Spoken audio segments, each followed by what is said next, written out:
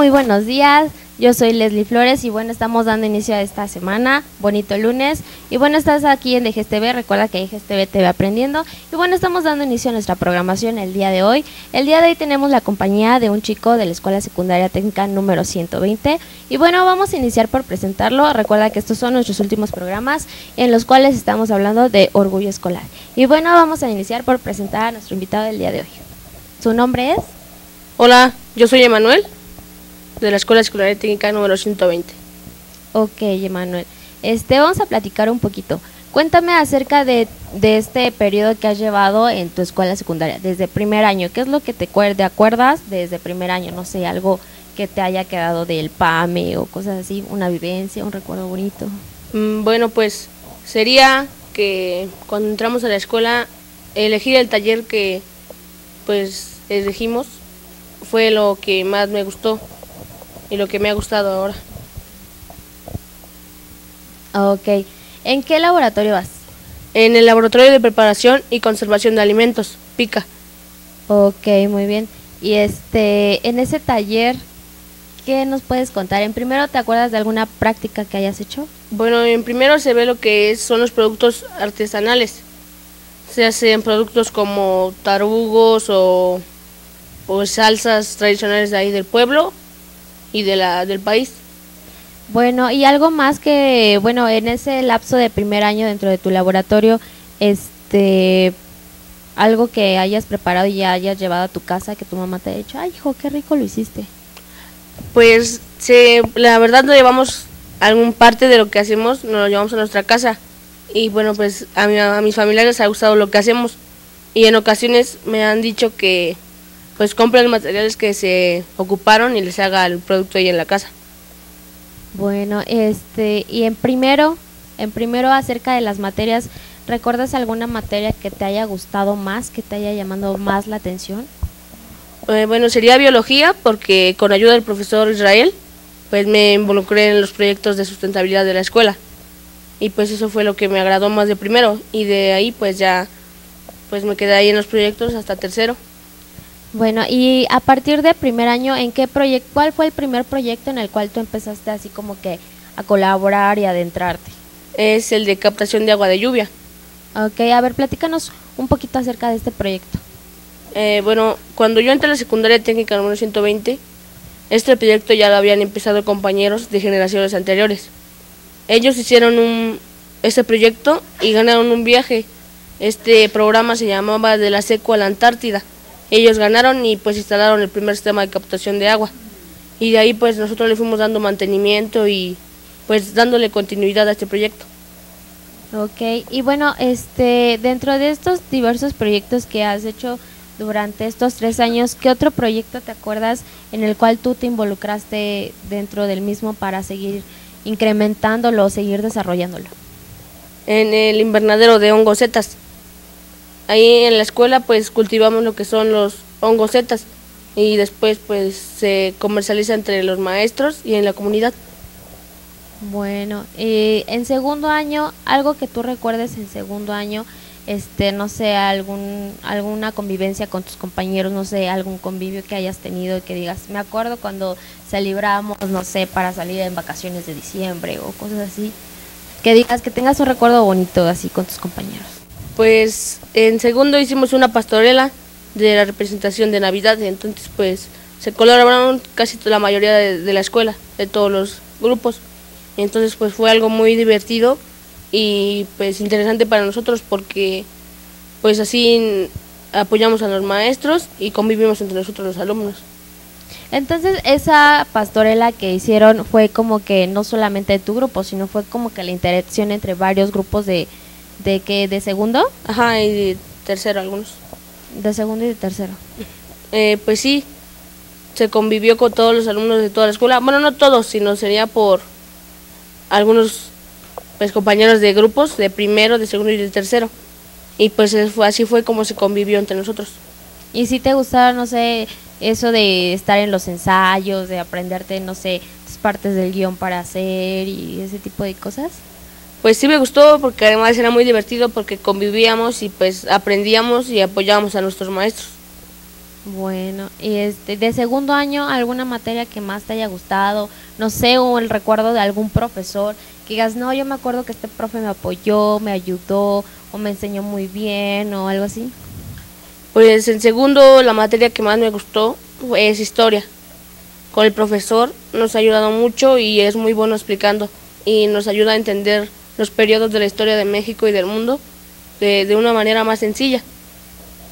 Bueno, este, de, bueno, ya pasamos eh, de primero, de primero algún profesor que te, que tú recuerdes que te haya dejado como que una huella en ese ciclo escolar. Eh, pues la verdad de nuestra, cuando yo iba a la primaria no tenía inglés, entonces pues la maestra de inglés en el primero de secundaria pues fue una gran ayuda para mí porque ahora pues ya entiendo mejor el inglés gracias a ella. Ok, bueno, de bueno platicamos un poquito de primero, un poquito de segundo y ahora vamos aquí a, a tercero, al final, ahorita que ya estás por terminar, ya estás a punto de salir, este, ¿cómo te sientes? ¿Sientes, te sientes contento porque vas a pasar a otra etapa de, de tu vida, a otra etapa escolar, o te sientes también triste, nostálgico? Pues a la vez me siento muy feliz porque termino una etapa de mi vida y comienza otra que es muy importante para mí pero también pues siento una tristeza enorme porque ya no veré a mis amigos, a mis compañeros que pues les hemos estado toda la vida juntos y ahora pues ya no será tan fácil verlos como siempre. Exactamente. Y bueno, de tercer año, uh, ¿tienes un poquito más de recuerdos o experiencias que hayas tenido en este tercer, en este tercer y último año de secundaria? Pues sería las fiestas entre amigos que organizamos ahí, eh, a veces los convivios en la escuela o a veces en, en otros lados, en ocasiones armamos las fiestas y pues esos son los recuerdos más bonitos que he tenido en tercero. Ok, o sea, como, como que en tercero fue un poquito más la unión entre ustedes como, como grupo y como compañeros, me imagino, porque me estás comentando que independientemente de, de las convivencias que tenían dentro del salón, afuera ustedes decían, bueno, vamos a casa de tal compañera, vamos a hacer un, convivio. Vamos a mi casa o lo que tú quieras y convivio, ¿no? Sí, sí, sí. Eh, bueno, en ese tercer año, pues como que todo el grupo se unió más, se unió más y pues hubo una mejor convivencia que anteriormente, porque en segundo a veces se peleaban o peleábamos entre nosotros, pero ahora en tercero no se ha visto ningún conflicto, al contrario, se ha visto una unión entre todos y pues es lo que me ha gustado mucho este último año, que han colaborado todos los compañeros para una buena convivencia. Ok, eso es muy padre, ¿no? Digo, porque a final de cuentas eh, ya su último, fue su último año escolar y bueno, yo creo que cada uno de, de, de ustedes se va a llevar un bonito recuerdo de sus compañeros, ¿no? Sí, pues sí, nos llevamos muchos recuerdos, muchas risas, muchos momentos graciosos que hemos pasado entre nosotros y pues es lo más bonito que me va a quedar de la secundaria, los recuerdos, que estar con mis amigos, con los profesores que tanto nos han ayudado y también a los directores que nos han apoyado en muchas cosas. Bueno, y de tercer año, ¿qué me puedes platicar acerca de las materias? ¿Alguna que te haya llamado más la atención o alguna que hayas dicho, bueno, esta me siento que me va a ayudar para, para la realización de mi, de mi examen? Que ya pues viene próximo. Sería matemáticas, otra vez lo vuelvo a mencionar, pero ahora con otro profesor, con el profesor Javier, que pues es un maestro que es un excelente maestro, es muy bueno enseñando y pues, nos hace entender todas las operaciones, las ecuaciones muy fácil y de manera muy sencilla. Nos enseña a resolverlas y después nos pone los ejercicios. Es muy buen profesor.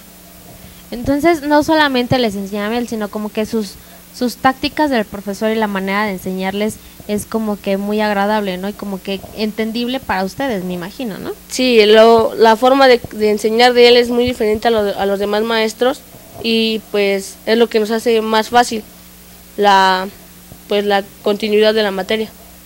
Bueno, y bueno, dentro de esta materia de matemáticas, ¿alguna que o alguna otra materia que te haya gustado más? Química. Aparte de esta de matemáticas. Química también me, me agrada mucho con el profe. Eh, Faustino es muy fácil entender también la pues todos los cambios físicos y pues todos los procesos que llevan los materiales y eso y es muy fácil comprenderlo con él. ¿Las prácticas dentro del laboratorio para, para química te gustaban? ¿O tienes, recuerdas alguna que digas, ay, me acuerdo de esta práctica y me gustó mucho, no sé, algo que hayan hecho dentro del laboratorio? Recuerdo una práctica en el laboratorio que hicimos para medir el pH de los, de los productos. Eh, nos hicimos extracto de col morada para hacer el indicador. Y eso fue algo muy divertido porque nosotros pensábamos que todo, todo lo que tocaba el indicador se iba a volver morado, pero no, o sea, resultaba que siendo ácidos o bases, pues ya se cambiaban de color a rojo o azul. Entonces, pues fue algo muy divertido también. Ok, perfecto. Este, ¿qué más nos puedes platicar así en general de estos tres años? ¿Qué es lo que tú te llevas de tu escuela?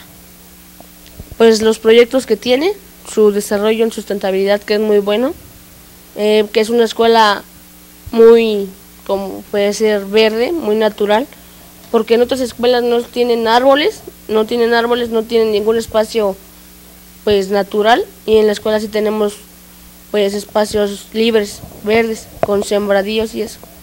A ver, entonces explícame, en tu escuela está obviamente pues los edificios, donde están los salones y todo lo que tú quieras. Aparte de eso, me imagino ha de contar con canchas de básquetbol, algo así, tiene, tiene canchas de básquetbol, de fútbol y pues ahí también en el, de fútbol juegan fútbol americano. O sea, qué padre. Entonces, o sea, ¿pero juegan por gusto o hay como algún equipo de No, no, no, es por gusto. ¿Por gusto? Sí, cualquiera lleva un balón y pedimos permiso a los directivos y nos dejan jugar y pues ya, lo hacemos. Ok, este, dentro de la escuela dices que hay como sembradíos, es como una, una área en particular donde ustedes hacen, no sé, parte de ciertos proyectos y cosas así. Sí, bueno, te contamos con, con dos invernaderos. Uno, como te mencionaba, es el de hongos setas y otro es de hortalizas. Y bueno, esos eh, se hace como, bueno, se introducen dentro de ese de las hortalizas y todo eso por parte del laboratorio o es como dices yo quiero entrar y estar dentro de ahí y apoyar, o sea, es por gusto o debes de estar dentro de alguna materia para poder y formar parte de, todo esto? Pues en parte es por gusto y además es por tu desempeño académico. Debes de ir bien, o sea, no tienes que ser pues muy conflictivo con los maestros para que te den el permiso de, de asistir a estos proyectos. Ok, bueno, entonces tú llevas, o sea, tú estás dentro de esto, de donde están las hortalizas y ese tipo de cosas. Entonces llevas buen promedio, me imagino, ¿no? Sí. Ok, pues muy bien, felicidades. Este, ¿qué otra cosa me puedes platicar acerca de tu escuela, así en general? No sé, que es muy grande, por dónde está ubicada, este, ¿qué es lo que, alguna parte que vas a extrañar más de, de tu escuela? Pues algo que cabe mencionar en, de nuestra escuela es que es nacionalmente reconocida como la escuela más sustentable del país. ¿Ah, sí? Sí, eh, en el diciembre pasado se ganó un premio de sustentabilidad y bueno, también otra cosa que vamos a extrañar, o que yo voy a extrañar, es a todos los profesores, porque pues son muy buenos, a los directivos y pues a mis compañeros. Bueno, pues ya nos platicó aquí Emiliano. Emanuel. Emanuel, ya estoy cambiando el nombre. Ya nos platicó Emanuel todo lo que él ha experimentado, el cómo se siente. Y bueno, ya nos queda, ya te quedan poquitos días dentro de tu escuela.